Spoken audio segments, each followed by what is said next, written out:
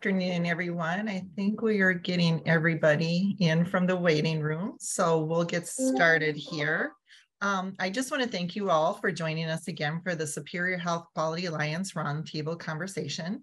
My name is Jerry Henniker, and I'm joined by my colleague Kim Heft, as well as our guest speaker today, who is Kristen Bausch. Um, we host these one-hour sessions. They're the second and fourth Wednesday of each month. Um, the first half hour of the session or the first half of the session is a didactic presentation and then the remaining time is reserved for Q&A. One thing I'd ask you all to think about as you're um, participating in our session today is think about those pebbles in your shoes. What are those things that you're struggling about or struggling with, especially as we talk about um, dialysis in the nursing home today? What are those things that you struggle with? Um, and what can we help you with in that in that scenario? Um, you can send a direct message to me in zoom or you can also put your suggestions in the space provided at the evaluation link which we will share at the end of our session today. Um, we'll also be sharing the link to the powerpoint presentation for today shortly and that will also be in chat um, during our session today, you can use the chat to ask any questions or make any suggestions or share any experiences that you've had. Um, if you have any questions, of course, we'll get those to our speaker if we're not able to answer them before, and we can use them for the Q&A at the end of our session. And then before I forget, I wanted to let you know our next event is on June 14th, and we'll be discussing pneumococcal disease and vaccination. So with that, I'd like it to turn it over to our speaker for today, who's Kristen Bosch, as I said, and she'll be talking about managing nursing home residents receiving dialysis. Kristen, the floor is yours. Thank you. Yes, so I am Kristen. I am a QIA with Superior Health Quality Alliance, as well as a clinical quality improvement manager with Wisconsin Hospital Association in the Madison, Wisconsin area, and a former home therapy dialysis nurse. And so I'm pleased to get to share some information with you today in managing nursing home residents receiving dialysis. So first up, um, we're going to take a look at a couple polling questions and more so in just that I want to ask on our first question, if you could respond in the chat, who has dialysis patients at your facility? You can answer yes, no, you're preparing to take in residents on dialysis, or maybe you're preparing to get your nursing home certified and trained to open up to dialysis patients.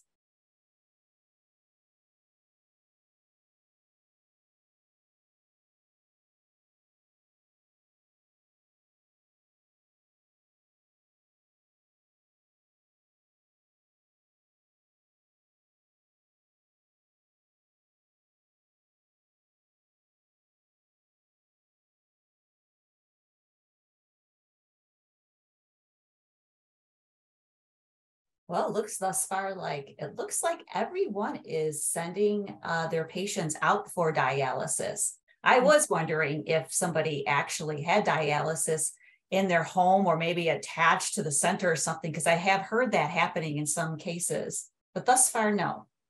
All right. And our second um, question there, and some of you may have already answered that, is what kind of dialysis are your patients participating in? In center hemodialysis or are they having peritoneal dialysis?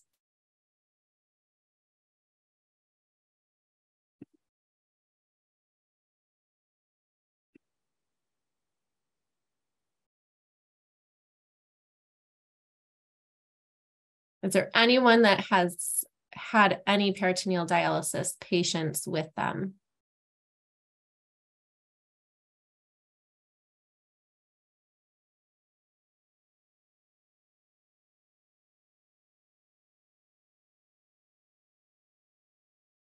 Okay, it looks like a majority of you are having the patients with hemodialysis, which is very common and sending them out to in-center. Um, very common, but also um, there are um, you know, legislative things in in place that they are looking to trend up on getting more patients involved in home therapy dialysis, which includes um, a lot larger population being seen in peritoneal dialysis um, and it's a little difficult to accommodate for the nursing home just because there's the extra training there, but we'll talk about that later.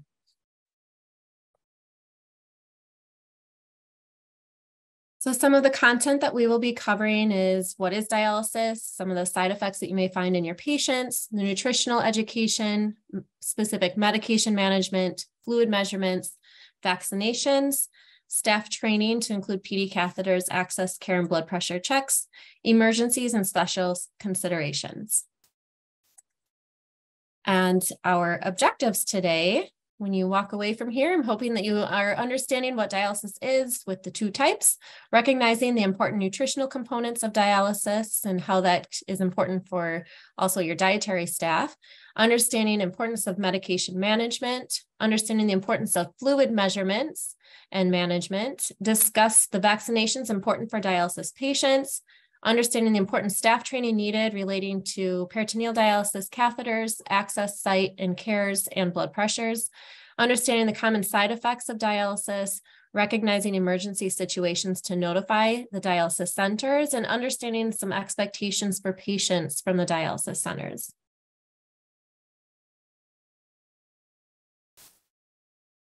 So first, what is dialysis? Per the National Kidney Foundation, dialysis is the type of treatment that helps your body remove extra fluid and waste products from your blood when the kidneys are not able to function correctly to do so. This is helping to keep your safe levels of potassium, sodium, calcium, and bicarbonates in the body, and helping to also regulate the blood pressure and the fluid control within the body as well.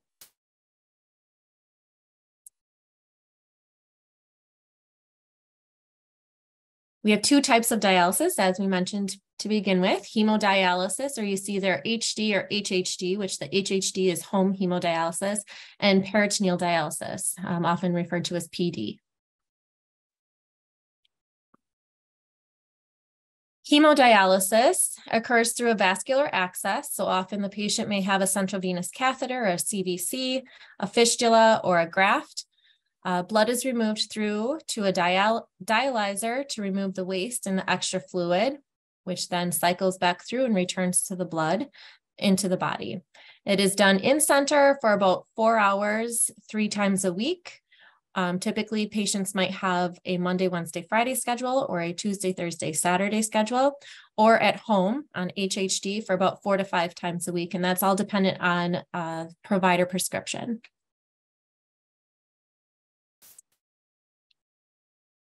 And this is a diagram kind of to give you a visual of what is happening in the body with um, hemodialysis. So the blood is uh, leaving the body at all points throughout the system. There are air checks in place um, so that typically what is used is called the NxStage uh, dialyzer.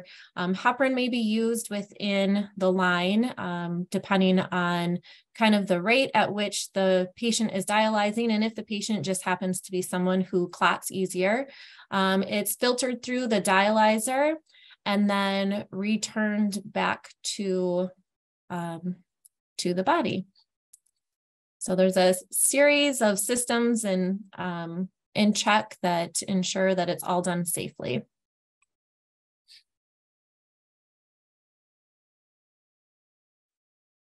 Peritoneal dialysis or PD. Uh, this is done through a catheter access that is placed um, often in the uh, abdomen area. I have seen them um, sometimes having to be higher or lower depending on the body habitus. Um, the, the dialysate is filled into the peritoneum. It dwells for a prescription of hours to allow for the filtration of the dialysate and draining to re- and then drained to remove the extra fluid that has been pulled out and the waste products out of the blood vessels. This is completed daily or per the prescription orders and it's completed at home or again as i had mentioned in a certified nursing home where the staff from the dialysis center has trained uh, the appropriate nursing team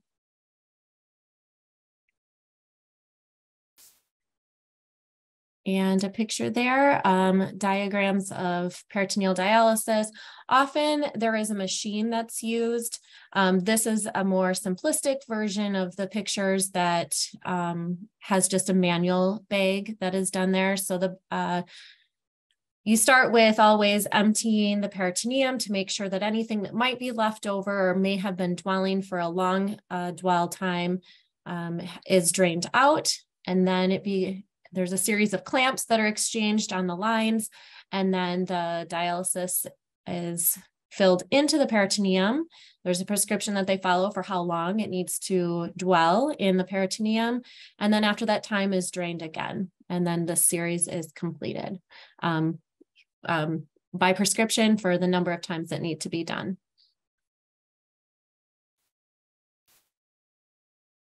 So next we will look at some common side effects uh, to look for it in your residents there. Um, most common with hemodialysis include the muscle cramps afterwards, might see some hypotension, um, some weakness, dizziness, nausea. They might have some blood, light, blood loss at the uh, access site. Um, in peritoneal dialysis, you'll also find that some patients may have muscle cramps, especially in their legs. Uh, and they might have developed a hernia if they are um, perhaps already had a weakened area within, say, their uh, abdomen muscles, which is typically found prior to the placement of a peritoneal catheter. And uh, weight gain is another uh, concern to watch for. Um, and that's typically with not being able to drain properly. And we'll get into some of that later, which comes with some constipation and bowel management. And in both of them, you may see some skin, blood, or peritoneum infections, fatigue, which should improve with the duration of dialysis. The longer they're on it, the cleaner their blood is getting. And, um, you know, we're cleaning. Also, they ha- will have clearer thoughts as well. And then pruritus, the itching of the skin.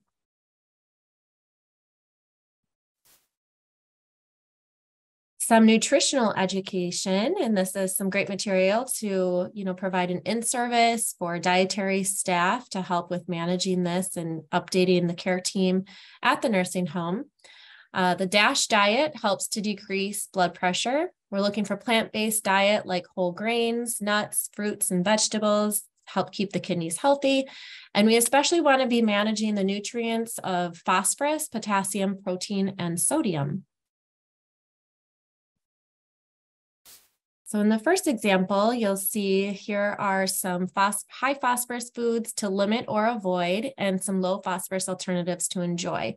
Uh, typically, when the patients are seen in center, uh, the care team, um, including a, a, dietitian, will round on them at least uh, once a month, maybe even uh, more frequent than that, frequent, more frequent than that.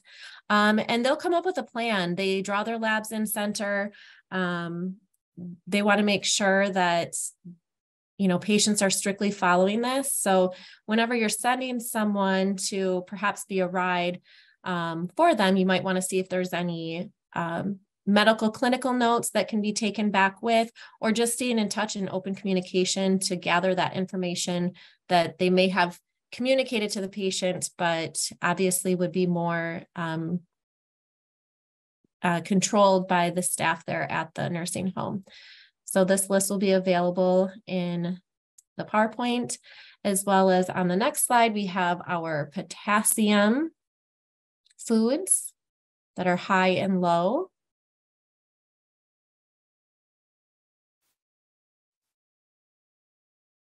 And on the next one, we'll talk more in depth about protein. Uh, once a protein is used to build muscle and it's used for healing, fighting infection, and staying healthy. Once a person has started dialysis, a higher amount of protein in the diet is necessary to help maintain the blood protein levels and improve the health. Dialysis removes the protein waste from the blood, so a low protein diet is no longer needed.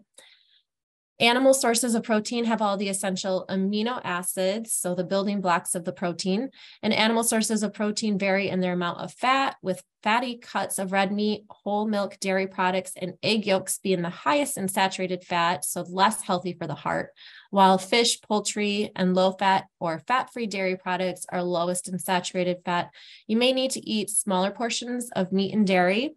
This will also help the patient in lowering the amount of phosphorus in the diet because the phosphorus is found in meat and dairy foods. Uh, plant sources of protein are low in one or more of the essential amino acids, and plant sources of protein include beans, lentils, nuts, peanut butter, seeds, and whole grains. And a plant based diet can meet their full uh, protein needs with careful planning and eating a variety of plant based foods. Another bonus with plant, uh, plant proteins is that they are low in saturated fat and high in fiber, which comes in hand, especially with those peritoneal dialysis patients.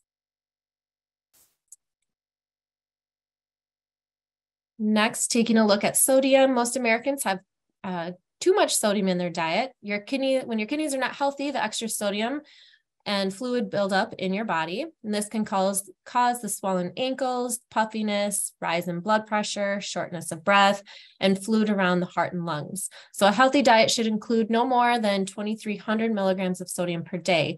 Some salt or sodium is needed for the body water balance, but when your kidneys lose the ability to control sodium and water balance, they can experience thirst, fluid gain, high blood pressure, discomfort during dialysis. And by using less sodium in the diet, can, you can control these problems.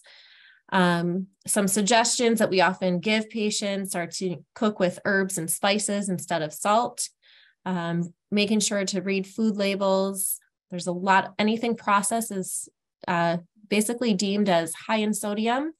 Um, and limiting if you need to limit potassium, avoid salt substitutes and limit the use of canned, processed, and frozen foods. So again, that list is there of acceptable substitutes and foods to limit.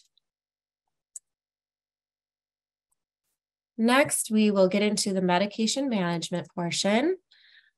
Um, some of what I felt were the most common that I know with physician and providers in which they may vary to look for and be able to manage appropriately, especially when it's not directly being managed by the patient themselves, are the following for phosphorus control. So often patients will be put on a phosphate binder, which is to be taken with meals and snacks. Sometimes patients can get confused with that and aren't certain um, when they're exactly supposed to be taking it. Also, we want to pay close attention to any blood pressure medications to help control um, their blood pressures as well as when they're given um, specifically um, in accordance to when their dialysis treatments are scheduled and making those uh, be as consistent and timely as possible. Iron is another one that patients can typically run low in iron and being able to take supplements or they may get um, IV infused iron when they are in center and bowel management. With peritoneal dialysis patients the big reason that patients may be putting on extra fluid is that they're not able to drain well um, the extra excess fluid out of the peritoneum.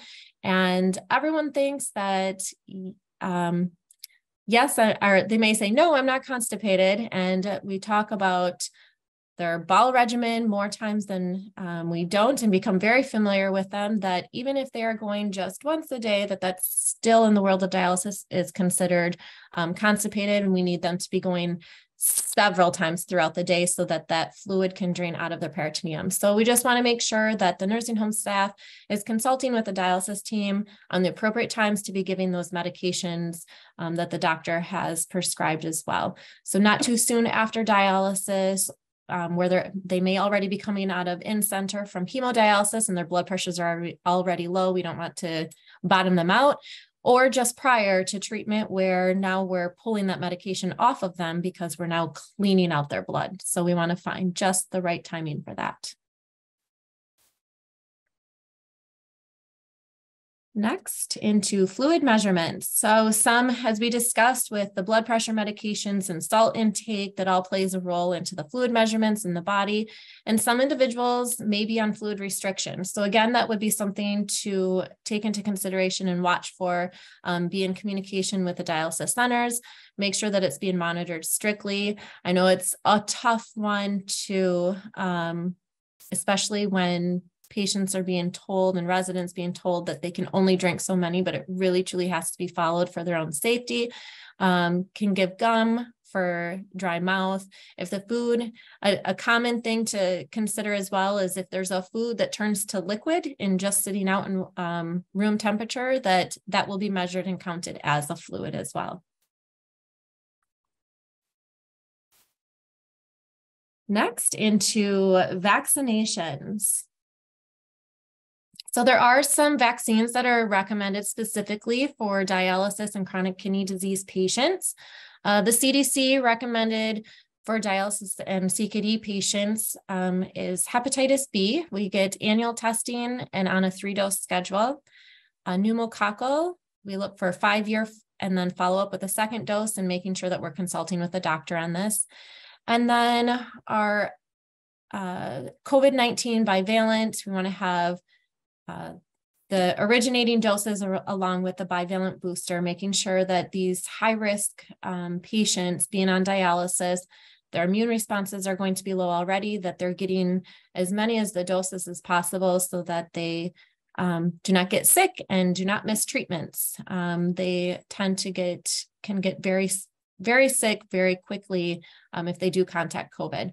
And then for all general uh, patients within your nursing home and the dialysis patients, we're also looking at the Tdap, influenza, and varicella.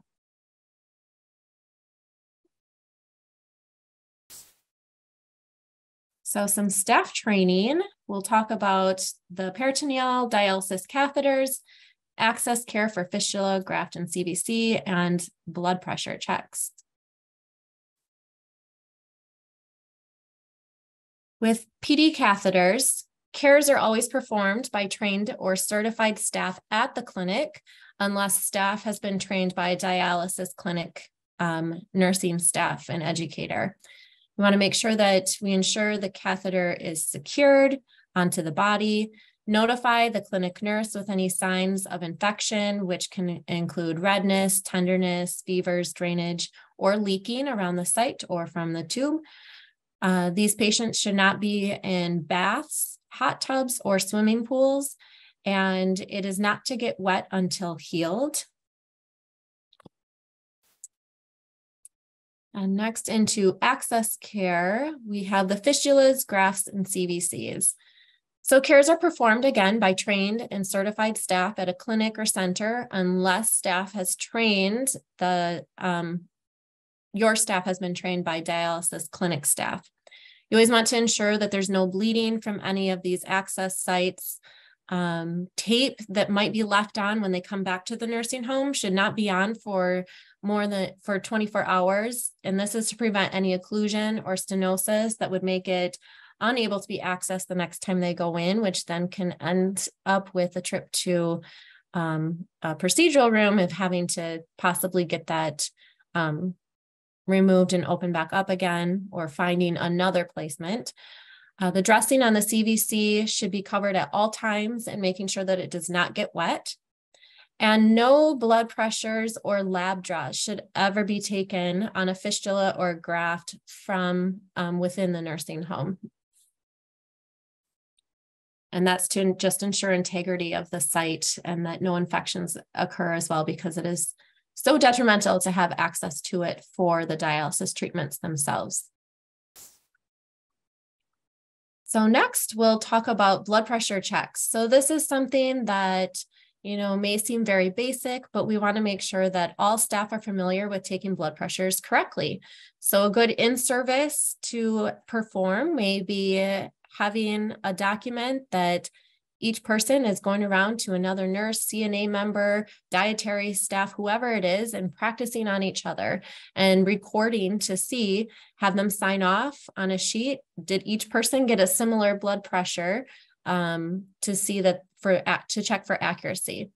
Blood pressure checks should be taken at consistent times of the day and prior to medications being administered for the uh, dialysis patients and in accordance with their blood pressure medications. Sometimes they may have PRN medications that say hold when blood pressures are below a certain level.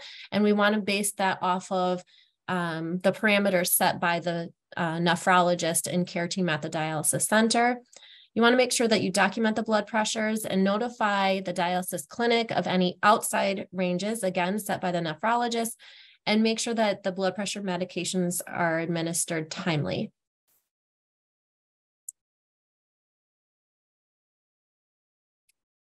Some emergencies that you want to keep an eye for. So, when should you contact the dialysis clinic or center? Um, this is the biggest concern that I think as a former dialysis nurse, and I've also worked in a nursing home um, as a nurse as well. that keeping the lines of communication is so imperative. Um, whenever a resident may be hospitalized, you want to make sure you reach out to that dialysis clinic or center immediately so that they can start getting things lined up for any treatments that may need to be performed in a hospital um, or when they may be returning to their chair spot because sometimes chair spots are hard to obtain the times and that also can cause some conflicts with scheduling um, with your staff as well and getting them to the clinic. Um, if the patient, uh, a resident has any change in condition, so any fevers, signs or symptoms of infection, I know it's common thought to reach out to their primary. You also want to reach out uh, first and foremost to their, also to the dialysis center. If you have any changes to medications from outside providers, you know, often they're going to see their primary care providers on a consistent basis within the nursing home.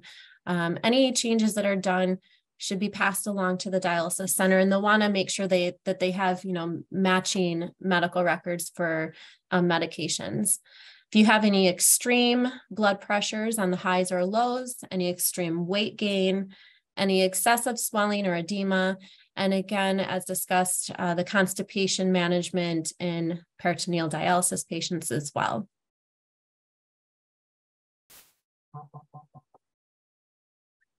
Some additional special considerations um, is just to make sure that you're always arriving early for all appointments with your residents to the clinic, as they are often on a very tight schedule at getting all of the patients in at the um, assigned time for their dialysis treatments. Make sure that you have rides arranged for your residents. When residents are finished with um, hemodialysis treatments, you want to have someone walking with the ambulatory uh, residents to be sure that they don't take any falls and they may have some of that weakness or dizziness. And be sure that you're notifying your dialysis center as well if there's any uh, residents that you have that are considered fall risks and call the clinic or center if the resident is too sick to get out of bed. They can decline quickly with any mistreatments, and they may need to reschedule for an open time or um, have to be seen um, either outpatient or admitted to a hospital for um, that additional treatment, depending on what their current status is. So next, we will open it up for questions.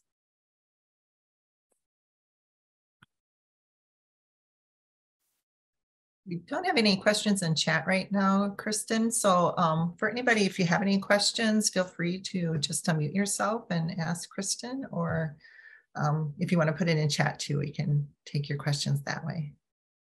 And I'm just, if it's okay for me to start out, I actually had a question um, while you were speaking, um, Kristen, that I thought of. And um, it's more of a question if people want to put their answer in chat for those of you um, working in the nursing home facilities.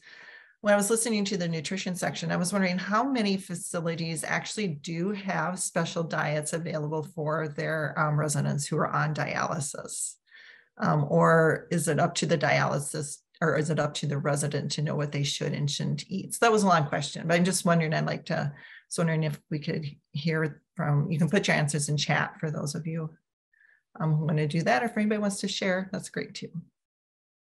And one of the things I did want to touch back on is often, um, you know, one of our leading causes of chronic kidney disease is diabetes. So um, often you're going to find that your patients that are diabetics or perhaps the ones also receiving dialysis and taking into account what those special diet considerations are as well. So if anybody can, so I am just curious if if you're the places where everyone's working, um, if they have special diets available. Oh, and we do have a question too. Should facilities include the dialysis center in their care conference? That would be ideal. Um, often um, within the team of a dialysis center, they'll have their nephrologist, a social worker, uh, a nutritionist or dietitian, as well as like a, a, care managing nurse. So that would be great to have them included because I think you're going to get the best information um, once a, pa- a resident is on dialysis, they're best seen as their primary care provider as being from the basis of that dialysis center. Yeah, you made a really good point, Kristen, because that is something that I highly encourage is that at least I, I on a quarterly basis that there should be in-depth discussion about that dialysis patient. Again with the doctors with the dialysis center so on and so forth. That is something that we have practiced in the past. A care conference quarterly just for dialysis. Yes and um, the dialysis centers are also required to keep care plans for the dialysis patients so they are working on meeting goals that you know meeting benchmarks and making sure that everything is staying up to date also um, you know, some of these patients, I mean, you can have varying ages at a nursing home. Um, so some of these patients, they might still be in consideration for a transplant. So um, some of the guidelines in those considerations are very strict. So having that open line of communication and knowing what's in the care plan is very important.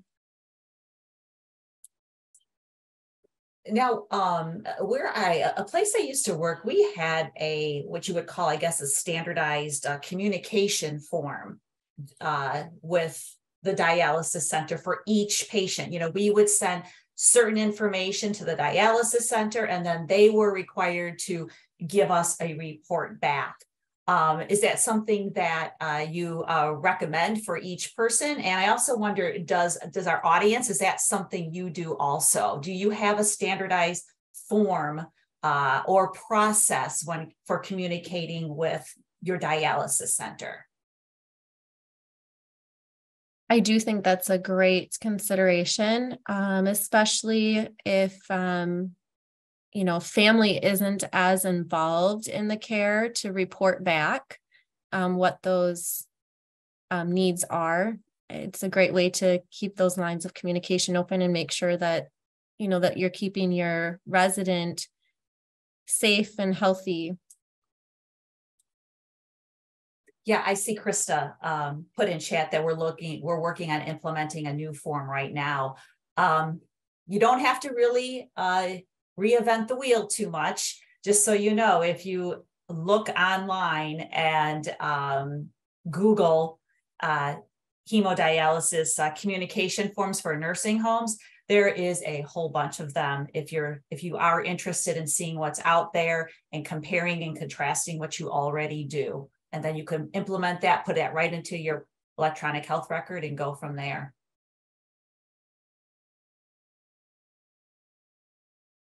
Uh, also, uh, Stacy says our dietitian meets with our dialysis uh, residents regarding dietary needs and preferences.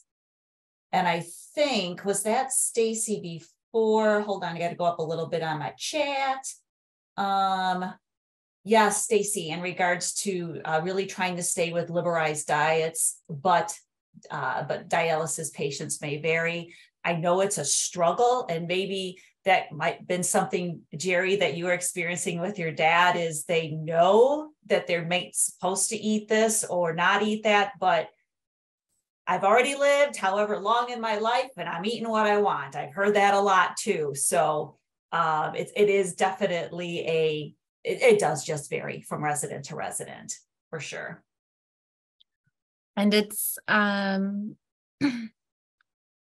it's interesting, I guess would be the word I can use to hear uh, the patients come into the dialysis center and report what they're eating as to comparison of what their labs show. So the labs will never lie as to whether they're sneaking in that, you know, extra little bit of something that they were told they were supposed to cut out of it. Well, and I think too, and and probably part of what I what when I was listening, Kristen, is I, I think it's a challenge for a lot of facilities um, because you're feeding a lot of people. And I think you had mentioned, you know, canned products and in you know like canned vegetables and that and it's kind of difficult to meet some of those requirements but it mm-hmm. sounds like too from what we're hearing from our participants today is you know you can you do the best you can. And, and I agree too, the residents have to realize what they can and can't eat. So I think it's, you know, that combination of always making sure that at least there's something they can eat, right? Even if it's, you know, you can't feed everybody a dialysis diet, I guess is what I'm trying to say. And so um, as long as there's options available, I think is the best way to do it.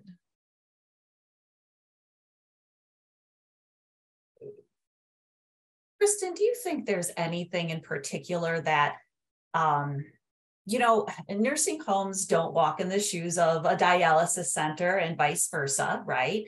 So, um, being on the end, your end on the dialysis side, is there anything? Well, first, let me just talk about the resident. Is there anything in particular that you feel the nursing home should be supplying uh, that nursing home when they come to the dialysis center. I mean, for example, I hear that dialysis patients can get very cold when they receive dialysis. So, you know, is it important to make sure they got warm clothes, even hats or scarves or mittens or something? Or is that something dialysis centers will provide them blankets and what have you. Some some dialysis centers when you are a new patient on dialysis may have a welcome bag. I know the one i worked at did. So in the welcome bag they provided a blanket um you know some educational material as well. And so that's and then like within a bag. And so that's something that they can bring back and forth when they come you know if they're sitting in a chair for four hours they might want a book that they're you know reading or maybe they have a tablet ipad or something of that nature that they can um, perhaps be watching a some form of media or reading or whatever it is. Um, and a lot of times the residents and patients in a dialysis center just enjoy that social time of interacting with others like them Yeah, that's really, yeah, I'm really glad you pointed that out. I was actually just thinking, um, would you also recommend that if they have like approved um, pressure relieving mattresses for chairs, for example, to bring those with because of their sitting for four hours? So that's not something a dialysis center would just provide for them, correct? Right. They do have specialized chairs typically in the centers. Um, yeah, I again I would consult with the team um, because again, just with safety features and things, they make sure that you know in emergencies they're in special chairs that quickly recline. You know, can be a hard base for if say you know CPR needs to be performed, things like that. But you know the special considerations can be talked about in care conferences with the dialysis team.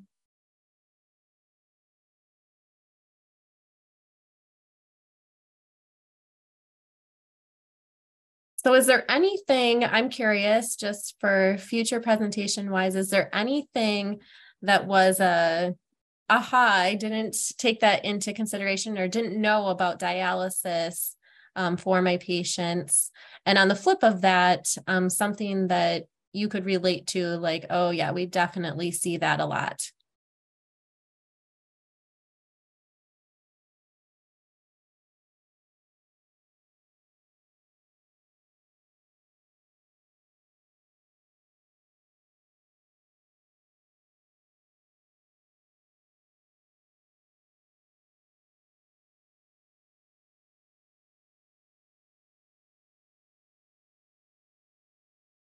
Kristen, do you find that there's definitely more? Well, here I'm assuming this, um, but hemodialysis opposed to uh, peritoneal dialysis. Am I correct in saying that? And if I am, why is that? I'm not certain on what the exact numbers are. And again, I come from a home therapies background where yeah. the percentages are higher for peritoneal sure. dialysis. Um, but there are several I mean, the numbers are quite significant for hemodialysis and that patients or residents that aren't able to facilitate the care themselves are going to by default be doing in-center hemodialysis.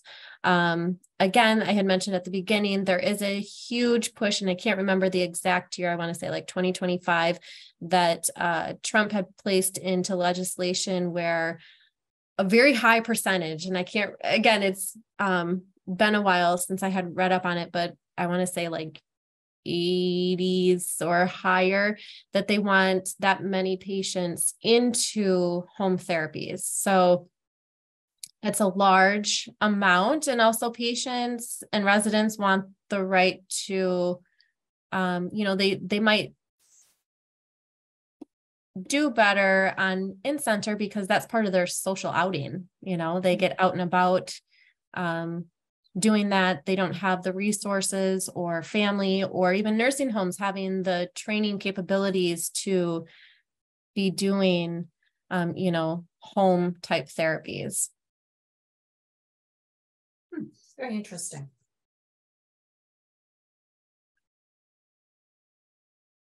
So there's also on the on the the federal side of everything, there is an actual F tag that is um, labeled dialysis. It's F698. And um, I was wondering if uh, those that are participating in today's event, um, you know, have you have you ever had any issues um, with the surveyors in regards to dialysis? Um, any uh, maybe a concern? I'm not saying you even got cited, but like a concern that you know they always give you your concerns. So, um, and if so, what was it on? It'd be interesting to know uh, so we can learn from each other on uh, what maybe their uh, surveyors are coming in and, and seeing and maybe particularly uh, pointing out to you. So please put it in chat, maybe just unmute yourself real quick and tell us if you've had any anything happen in regards to a dialysis potential site.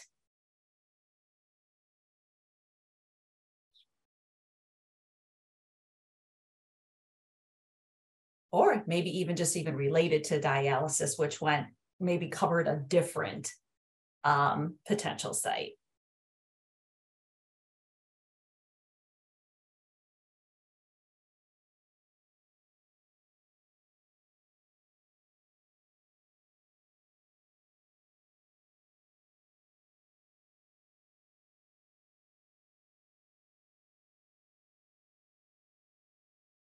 So um, what do we have here? We have Krista. Um, I've had an FYI on communication with the HD Center and care planning. Yeah, you know, I was wondering if someone was going to possibly bring something up some like this because I just have to hit home. The communication just really seems to be um, big in regards to the overall all well-being for the dialysis uh, resident is making sure that dialysis and nursing home are communicating.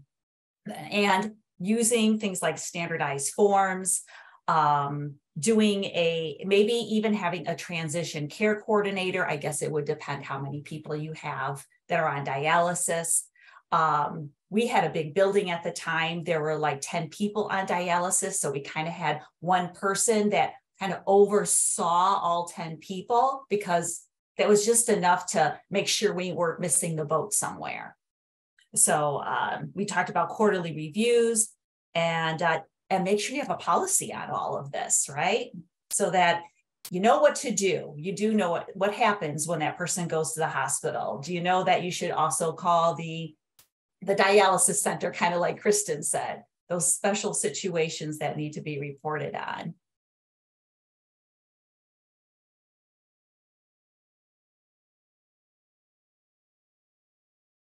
So Jana here indicates resident rights meals sent with resident for dialysis.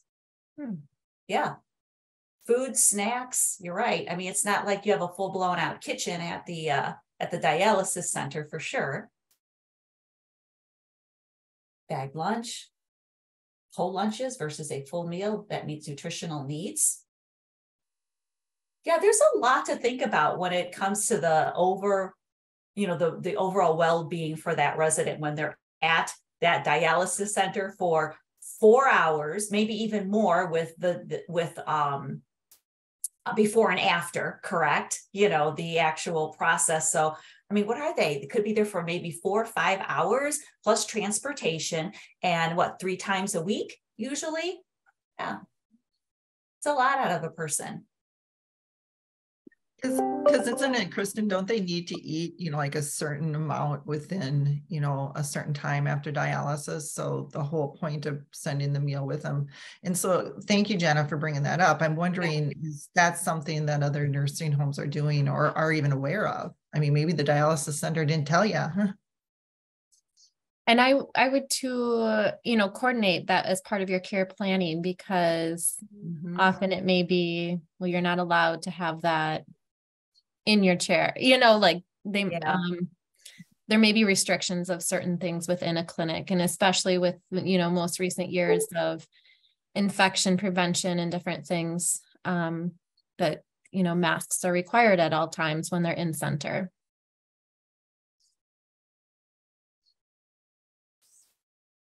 So great comments. Yes. Thank you. Another consideration too is um that have any patient in attendance, say with a history of hepatitis, is going to have a special chair time that you know might fall they might have a special area that they can just come at any time and that's where they're sat or it might be that they're you know scheduled more so towards the end of the clinic day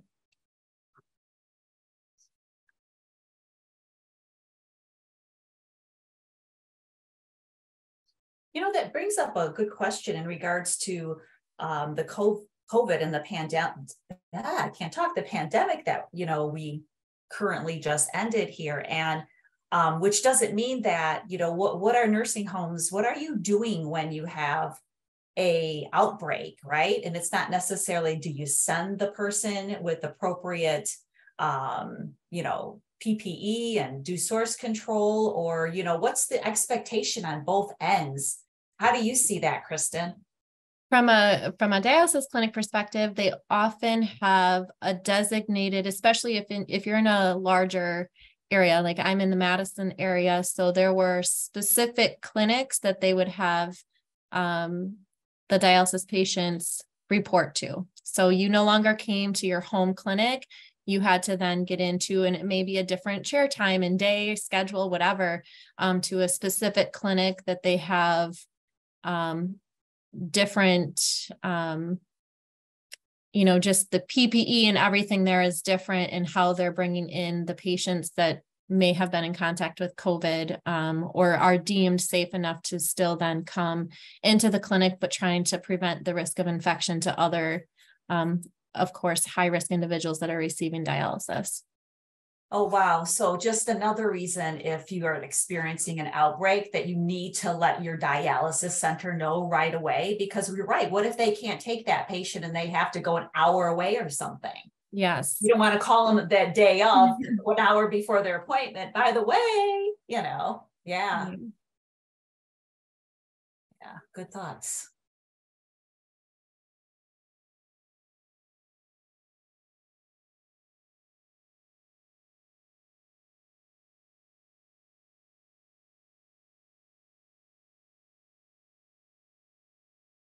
Another important thing too is um, any other procedures or dental work um, should be also notified to the dialysis center because um, often they might be put on um, uh, antibiotics ahead of time prophylactically as well.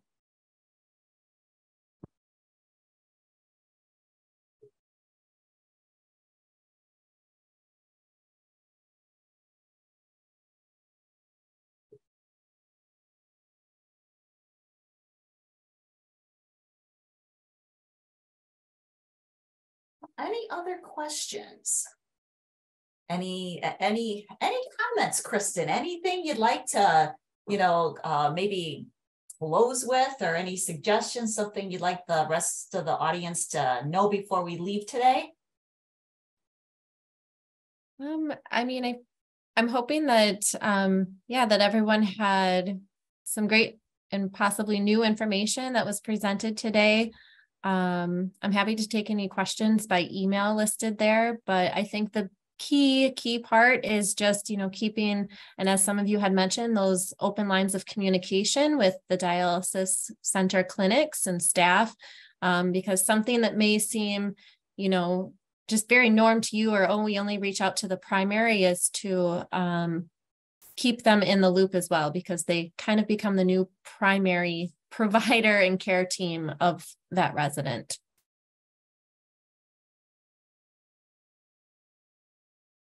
We did just get a, um, a, a comment here in chat about facilities having a backup plan in case there's a breakout within a dialysis center. So now we got the reverse situation going the other way. So I guess there, um, would you say on your side, Kristen, that you would have maybe information for that home to to go somewhere else? Generally, that would be arranged within the nursing care management. That you know, if they saw a trend, um, which myself I can't. I I am within an area that there were probably four clinics, like within um closeness to each other um, and then an additional you know outside facility as well a couple of them that were close um, and others that were maybe half an hour to an hour away. Um, i don't remember ever seeing or hearing of like outbreaks within a dialysis center. Um, i don't know what the present status of but it was that everyone was getting screened when they came in and you had to wear a mask um, obviously, with some of you know states adopting the lifts on masking and things, I'm not sure if dialysis centers to date are still staying very stringent on that. Um, but it also may just be something you know worth mentioning to your residents to you know be a little more cautious with some of those things too just to ensure if they are worried um, about an outbreak or you know contacting contracting uh, covid you know, when they're in high risk as already and then going into a dialysis center. Usually I from what I've seen, those individuals coming in for dialysis are some of the most cautious because they know that their health is of great risk.